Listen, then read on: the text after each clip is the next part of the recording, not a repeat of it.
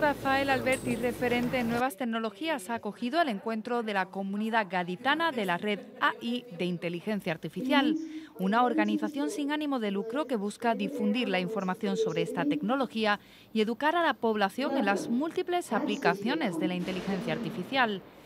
Este primer encuentro presencial de la comunidad AI Cádiz ha servido para promover uno de los proyectos que ya tienen en marcha. La innovación pone el foco en la cultura popular y en una de las tradiciones más arraigadas de la ciudad, del carnaval. El objetivo es crear una base de datos de letras de agrupaciones que mediante inteligencia artificial podría incluso automatizar la transcripción de las coplas tras su estreno en el Falla. Estamos desarrollando una herramienta basada en inteligencia artificial para eh, verificar letras, es decir, vamos a crear un corpus, textos del carnaval, letras, para que se puedan verificar y la gente pueda acceder a ellas de manera estructurada. Lo que había antes era eh, parte del entusiasmo colectivo de los ciudadanos que ponían en, su, en sus blogs, en sus páginas web, las letras de manera fragmentaria y nosotros lo que estamos haciendo es estructurarla para que la puedan usar investigadores y la pueden usar toda la persona, todas las personas que estén interesadas en, eso, en, conservar el patrimonio, en cuidarlo y en, que puedan tener una herramienta eh, a tal fin.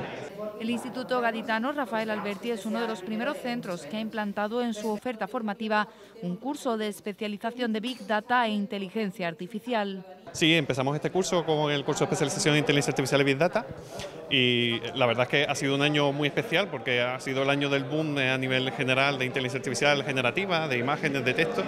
y entonces lo afrontamos con mucha ilusión y, creemos que, podemos hacer